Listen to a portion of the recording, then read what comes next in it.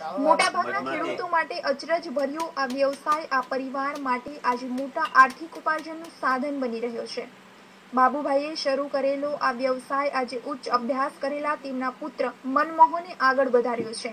અને આજે આ કેન્દ્ર સરકારની સહાય સાથે આ વ્યવસાયમાં જોડાવા માંગતા ખેડૂતો માટે એક નિદર્શનનું કેન્દ્ર પણ બન્યું છે.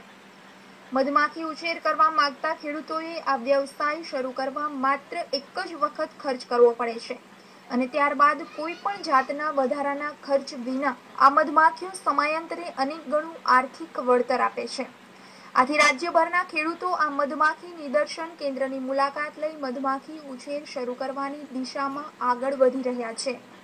જ્યારે પડોશી રાજ્ય મહારાષ્ટ્રમાંથી પણ રાજ્ય સરકાર દ્વારા ચાલતી વિવિધ યોજનાઓ અંતર્ગત ત્યાંના ખેડૂતોને ફણસવાડાના આ મધમાખી ઉછેર કેન્દ્રમાં તાલીમ માટે મોકલવામાં આવે છે.